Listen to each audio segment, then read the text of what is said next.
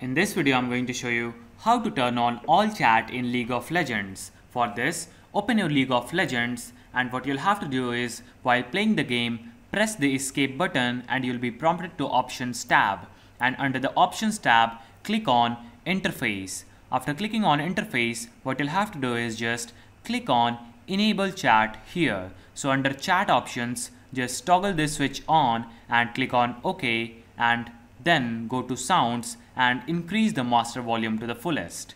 And by following these steps, you'll have turned on all chat in League of Legends. So that's how we can do it. Like and subscribe if you found this video helpful.